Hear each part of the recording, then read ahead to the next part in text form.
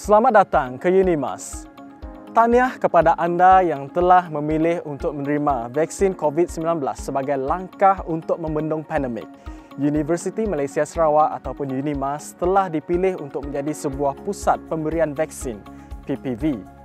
Anda diingatkan untuk mengemaskini aplikasi MySejahtera anda membawa bersama kad pengenalan, kad klinik sekiranya ada, kad temu janji sekiranya ada dan pen. Setibanya anda di pintu masuk utama Unimas, sila ikuti tanda arah yang telah disediakan di sepanjang jalan sehingga anda tiba di PPV Unimas. Langkah pertama, sila hadir pada masa dan tarikh yang telah ditetapkan. Pastikan ikut laluan yang telah ditetapkan dan jaga jarak fizikal anda imbas aplikasi My Sejahtera anda dan buat saringan suhu badan.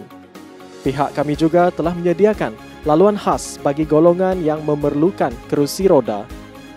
Langkah kedua, ambil nombor giliran anda dan masuk menunggu di dalam dewan. Langkah ketiga, sila ambil perhatian terhadap paparan skrin di dalam dewan.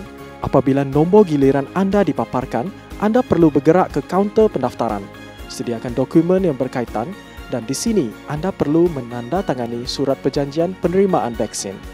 Langkah keempat, selepas mendaftar, anda akan menunggu giliran anda untuk menerima vaksin. Vaksin akan disuntik di bahagian pangkal lengan anda oleh pegawai kesihatan yang bertugas. Anda dinasihatkan untuk memakai pakaian yang bersesuaian. Langkah kelima, Setelah menerima suntikan vaksin, anda akan dipantau oleh pegawai kesihatan kami selama sekurang-kurangnya 15 minit bergantung dengan tahap kesihatan anda.